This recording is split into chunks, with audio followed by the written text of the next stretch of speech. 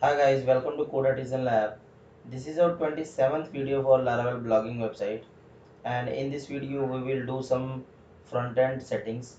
So we have a we have created this front end and uh, now uh, we will manage the post from the user end. We have uh, created the section where user can add post.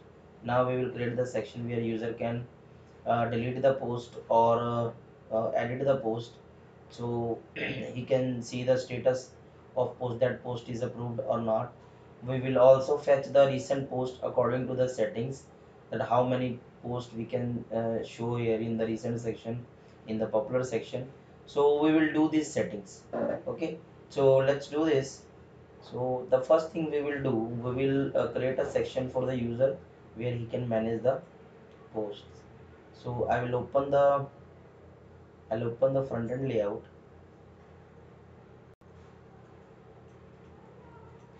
close all tabs and uh, in the front end layout here we will i will add here manage manage posts. Okay? And here we will show manage posts. And correspondingly we will create the we will create routes. Here we will create routes. So where we have created the form here we have created the form now we will create the route for manage post. Manage posts and now we need to create the method. We need we will create the method in the home controller. Manage post. Manage posts. Okay and now we will create the method here. Manage posts function post and here we will show the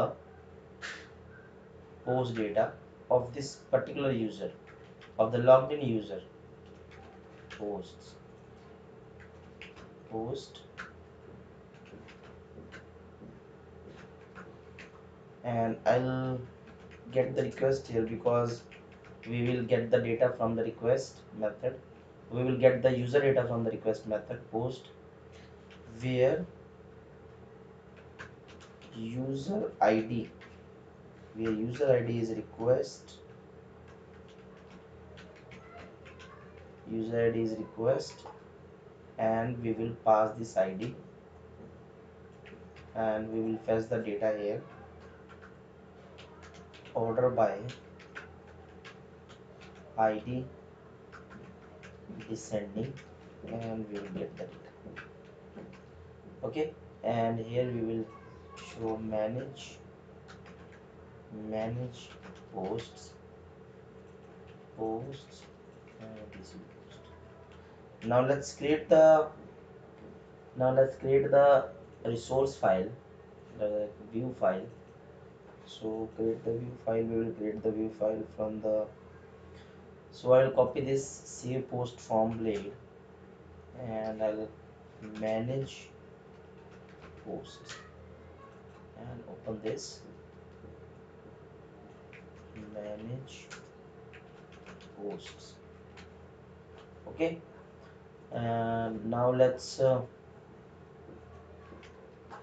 now let's refresh this page so we have a manage post click on this manage post and we have a data but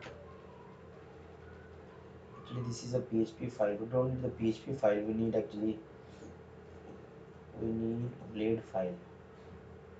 So we will change this blade.php okay let's refresh this page. So we don't need this category. We don't need this we will empty the table. Okay. And we will change the title. And we don't need this. Don't need this form actually. Because we just want to show the data. So don't, don't, don't, don't need the form. Search recent post. Manage posts let's add the border here. Mm, okay.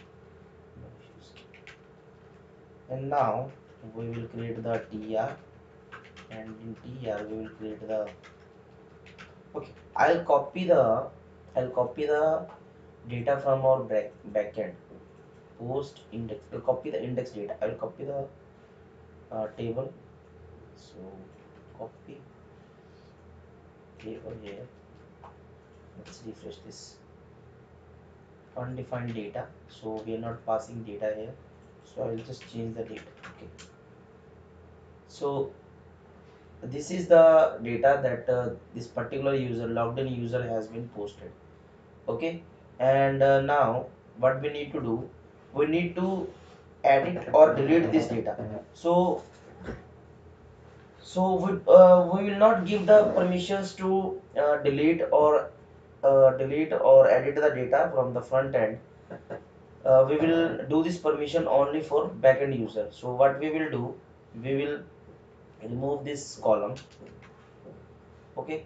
If he want to delete the data then he should contact the admin.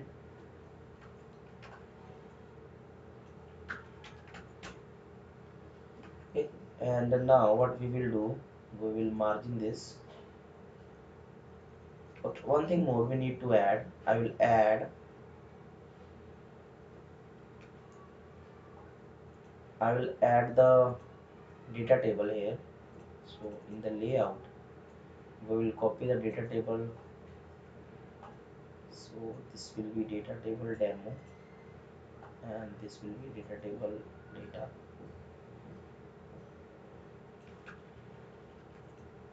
Manage post and here we will add script for data table. And we will add the bootstrap. Okay bootstrap is working. And uh, we also add the so add the data table demo. Let's see. So data table is showing now but uh, something is missing. So what we will do we will we need to add the this bundle. This. Okay. And uh, what we need to do. Yeah. So we have a data table. Uh, okay. Fine. Actually we also need the data table bootstrap so we will add here data table we don't need the bootstrap button.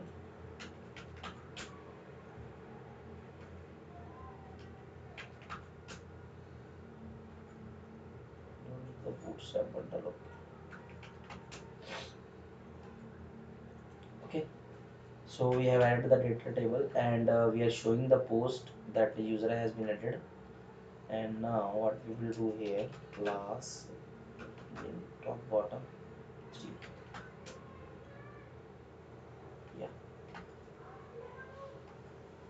Margin bottom actually. Margin bottom four. Yeah. So uh, now we are showing that uh, user these data is uh, for this particular logged in user.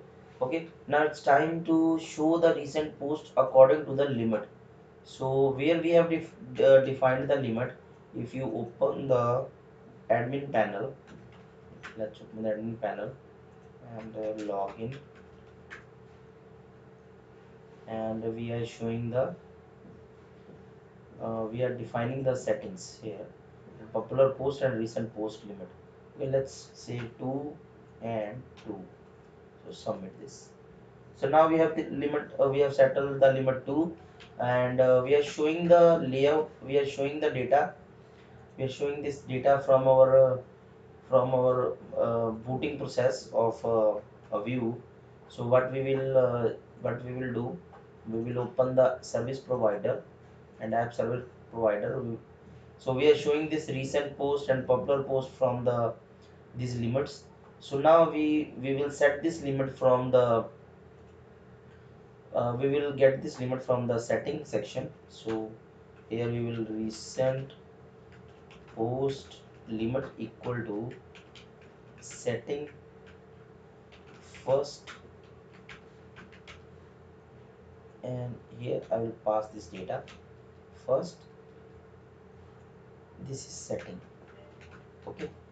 And the setting will be pass here dollar setting and what is the name of the data? Uh, let's say we need to check the PHP MyAdmin so I'll open the PHP MyAdmin and go to the blog settings. So recent. So this is a recent limit. Okay this is recent limit and uh, now this is popular limit. Okay so let's refresh this. So here you can see the recent post is showing two recent posting showing uh, popular posting showing three. Now let's check uh, change this uh, uh, number. So we have changed the number. I refresh this so here you can see we have a recent post 3 and popular post 2 so uh, these are the front, front end settings that are pending. So we have done this settings.